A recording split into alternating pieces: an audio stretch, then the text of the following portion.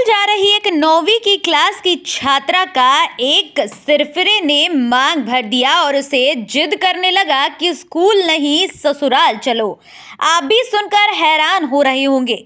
पर ये सच है। ये पूरा हैरान करने वाला मामला बिहार के कटिहार ज़िले का है, जहाँ पर ये पूरा मामला बेहद चौंकाने वाला हो गया है। दरअसल, यहाँ पर नौवीं क्लास में पढ़ने वाली एक छात्रा की सिरफिरे ने मांग भर दी। आरोपी सुनसान रास्ते पर पहले से ही घात लगाकर छात्रा का इंतज़ार कर रहा था।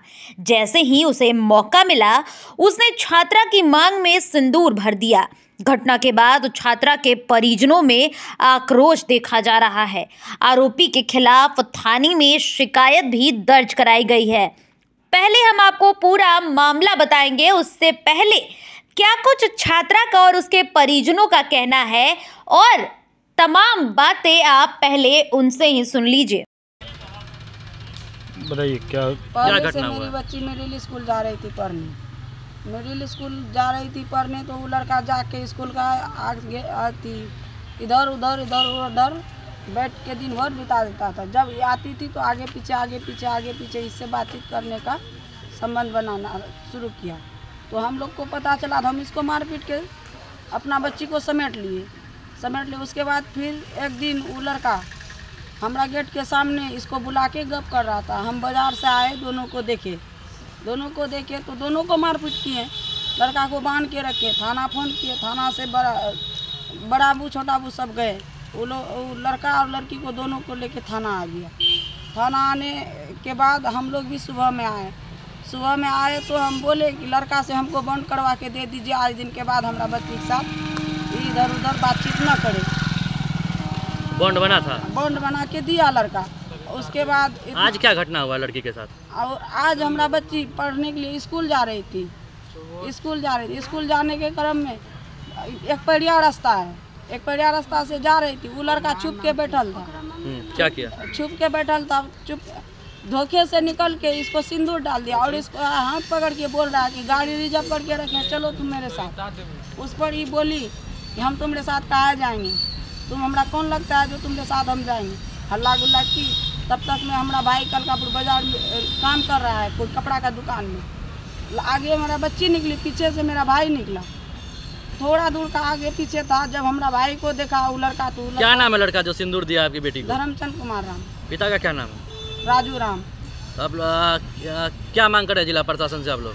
हम प्रशासन से न्याय मांग रहे हैं। क्या नाम है आपका? सपना देवी। लड़की का क्या नाम है? उषा कुमारी। घर कहाँ पे? Jagdishpur. Ward? Ward number? Ward number तीन। क्या प्रशासन से क्या मांगा तुम लोग? न्याय का जगह न्याय का जगह हम न्याय मांग रहे हैं। तो तुम यहाँ थाना आई है केस करने जी। क्या नाम हुआ? तुम्हारा? उषा कुमार। कहाँ है? जगदीशपुर। अच्छा मामला क्या हुआ तुम्हारे साथ? घर से स्कूल जा रहे थे। अच्छा। और जंगल में छुप के वहाँ पे खड़ा था। और आके जब कौन था खड़ा? धर्मचंद। धर्मचंद? हाँ। कौन धर्मचंद? पिता का क्या नाम है? लड़का क्या नाम है? धर्मचंद्र कुमार। पिता का क्या नाम है? राजू राम। अच्छा। तो उसके बाद क्या किया? और बोल रहा था चलो मेरे साथ गाड़ी रिज़र्व है। तो हम बोले कि कहे जाएँगे तुम्हारा साथ? न जाएँगे। हम्म, बोलता है न जाएगी तो हम जा रहे हैं हत्या करने अपना। हम्म, तो हम हम कुछ न बोले। इधर से फिर मेरा मामा कलकापुर जा रहा है तो तो हम इसको देखे, तब हम रो रो के बहुत बोल रहे थे कि चलिए घर लेके, तब घर आए तो उस इस बीच बता दें कि सुनसान सड़क पर सरफेरा आदमी, जिसका नाम धर्मचंद्र कुमार है, वो पहले से ही घात लगाकर बैठा हुआ था। जैसे ही छात्रा उस रास्ते पर पहुँची तो उसने सुनसान जगह होने का फ़ायदा उठाकर उसको पकड़कर जबरन मांग में सिंदूर भर दिया। इसके बाद आरोपी युवक छात्रा को अपनी पत्नी बताकर साथ घर चलने के लिए कहने लगा। डर के मारी छात्रा चीखने चिल्लाने लगी। इस दौरान रास्ते से गुजर रहे रिश्ते में लगने वाले छात्रा के मामा ने उसे देख लिया। मामा को देख आरोपी वहाँ से फरार हो गया। इस घटना से दो महीने पहले, ये जो घटना घटी है, इससे पहले भी एक बार ये सरफिरा आशिक इसी छात्रा को परेशान कर रहा था। इसके साथ छेड़खानी करने की कोशिश भी कर रहा था, पर वो इस घटना को अंजाम न दे सका। इसको लेकर दोनों पक्षों में पंचायत भी हुई थी। दोनों गाँव के लोगों की सहमति से आरोपी ने एक शपथ पत्र भी लिखवाया गया था। इसके बाद भी आरोपी का मन माना नहीं और उसने अब छात्रा की मांग में सिंदूर भर दिया है। छात्रा अपने परिजनों के साथ अब पुलिस प्रशासन के पास गुहार लगाने पहुँची है और इस सरफिरे के खिलाफ न्याय मांगने की गुहार लगाई जा रही है।